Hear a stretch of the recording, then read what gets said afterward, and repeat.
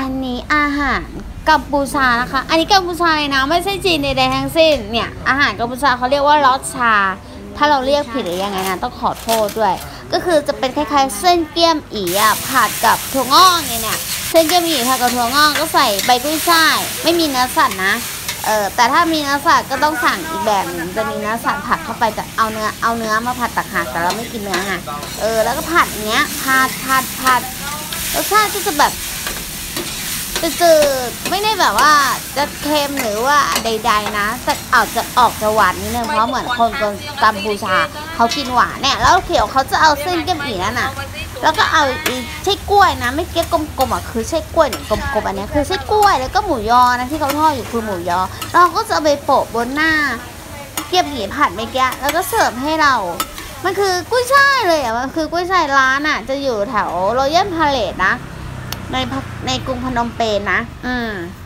อยู่แถวนั้นอะราคาที่เรากินนะจานหนึ่งก็ประมาณกลุ่มที่เวียดหนึ่นางมหมื่นเรียวหนึ่งหมื่นเรียวก็ประมาณ85บาทเนี่ยเขาก็จะมีพริกน้ำส้มอันนี้จะเป็นเมนูพริกน้ำส้มเขาไม่เปรี้ยวแบบเรานะของกัมพูชาจะหวานเผ็ดอะไรนะหวานเผ็ดเนี่ยพี่ยี่ห้ออะไรนะแล้วหน้าตาแบบนี้เลยนะเรียกว่าอะไรโอ้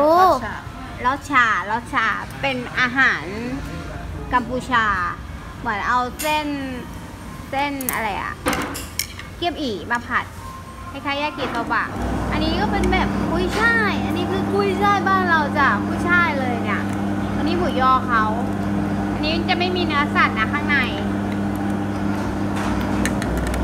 เดี๋ยวรู้ว่าจะปรุงยังไง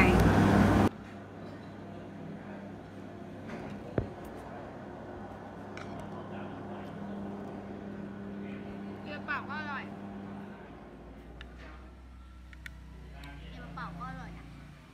รสชาติ เหมือนยากิโซบะเกี๊ยวอีเกี๊ยวอียากิโซบะ